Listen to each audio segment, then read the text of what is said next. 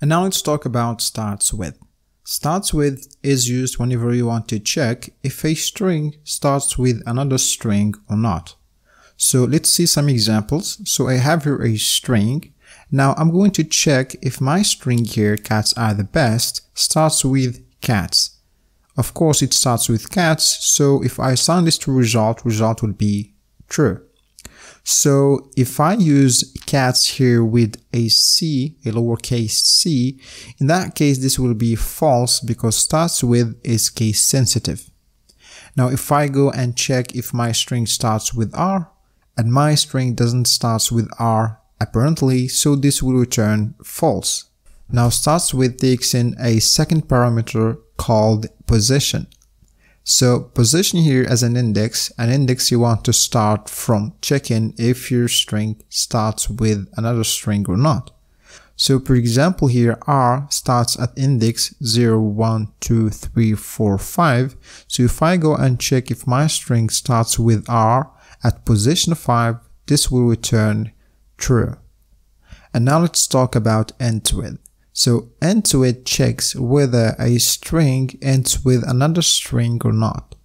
Let's see some examples here. So I have the same string and this time I'm going to check if my string ends with best with the exclamation mark.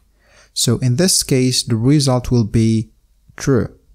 And now if I go and check if my string ends with best without the exclamation mark, this will return false.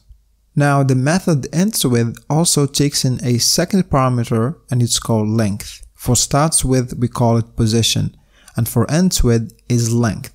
They are different. Now the length here means the length of your string.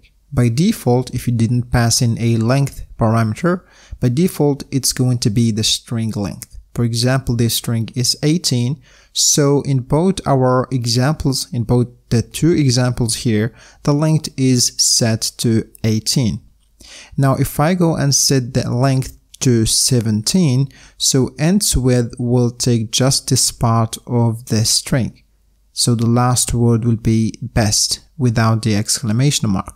So here I have 1, not 0, because this is not an index, this is a length.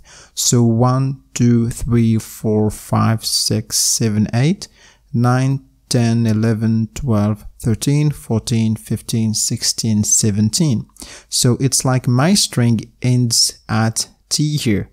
Now if I call ends with with the length 17 and check if my string here ends with best or not, this will return true. And that's it for starts with and ends with. Now let's move on to the next method.